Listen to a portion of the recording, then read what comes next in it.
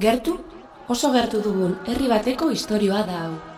Orain arte, herrira heltzea lortzen zuen jendeak, herri normal bat ikusten zuen. Eta herrira iristen zirenek, galderarik egin gabe, bizimodu normaletan murgiltzen ziren.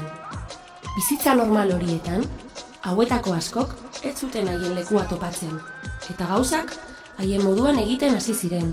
Haien koloreak bizitzen, nahazten eta gozatzen. Eta herri hori, geroz eta beraienago sentitzen dute normalek eta anormalek. Pozik daude, bidea egiten ari dira, eta batzuetan zaia, tristea edo mingarria bada ere, elkar zainduz, bakoitzaren denborak errespetatuz, aurrera jarraitzen dute.